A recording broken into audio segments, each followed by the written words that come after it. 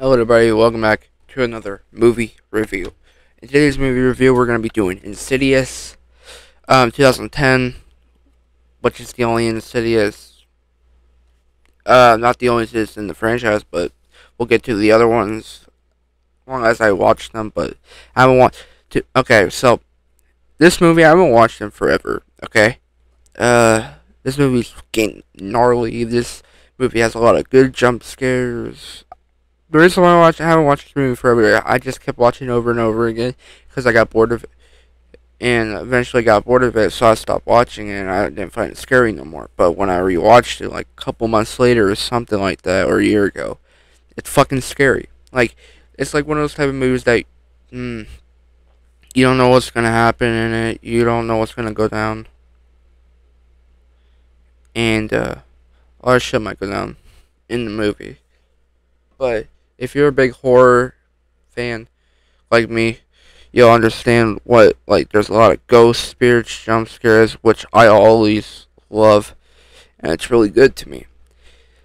Um, the woman in the bra- woman in black, that's the scariest fucking entity in this fucking um movie. She's just so fucking scary, like I don't know how to explain it whoever played her did a good ass job.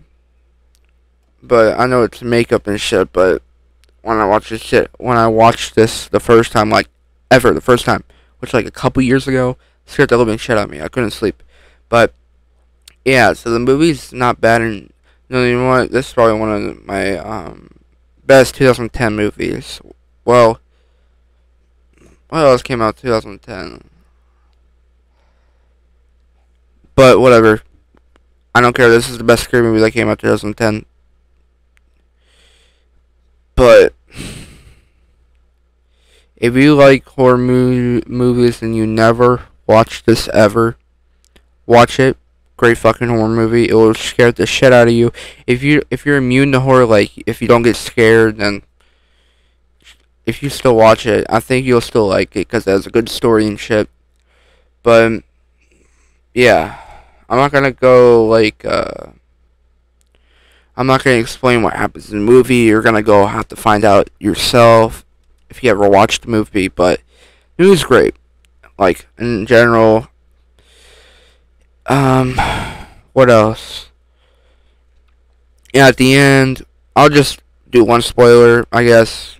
A lot of I guess whoever watched this and has never watched the series, go watch it. Um and uh, might do a commentary on this shit. But at the end, if you don't, so Elise, if you don't know who she is, then you have to watch the movie. But um, Elise, um, so um, her her and Josh are, I guess she putting her stuff away, and Josh is like putting shit in the fireplace. Hold on, all right, putting stuff in the fireplace, and uh, Josh is like, um, you show me a different world, I guess. And she's like, no, I, no, I haven't. You've been to that place. And, uh, well, I don't, Josh says I don't need these no more. And then plays the weird music. As I, mm.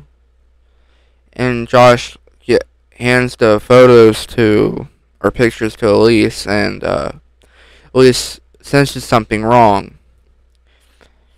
And, um, she's like nothing. Takes the picture. Like grabs the camera, takes the picture. Josh gets mad, strangles her, and uh,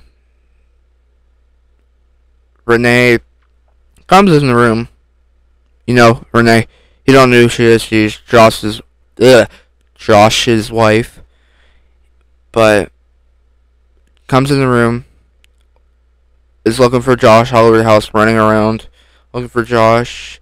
And she drops the flashlight, picks up the camera, and what she finds is disturbing to her, shocking, because which makes me have goosebumps. But you find on the camera, this woman that you're looking at right here comes on the camera. I'll, I'll find a different picture of it. I'll show you what I'm talking about. Insidious. ending.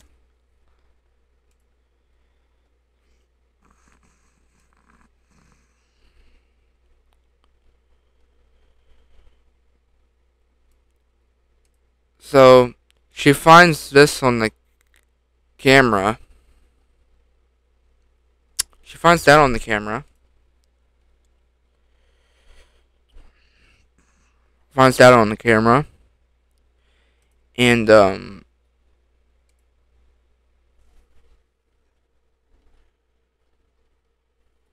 turns out woman in black killed Elise. And which is um, kind of shocking, a twist ending, but the way that I knew it wasn't really Josh was probably when he woke up, he looked like weirded out, like look at his eyes, like what the hell. But it wasn't Josh that came back; it was Parker Crane, which I'll explain in the next movie review of Insidious Chapter 2. And, um, yeah, it's supposed to be a twist ending. Elise is dead.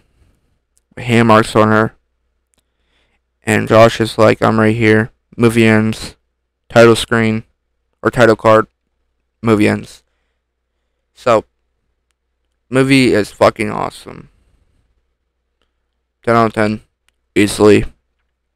I could not put a movie 10 out of 10 if it's so good. 2010 movie. It's just not the movie in general. It's just how scary it is. And the music, too. So, hope you all enjoyed. And I'm going to make it see it's 5 news very soon. I promise you. If you like that shit. But, um, yeah. Hope you all enjoyed. And I'll see y'all.